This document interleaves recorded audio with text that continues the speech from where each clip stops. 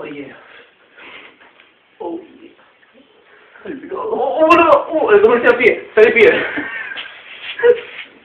Salí pie, tomándola.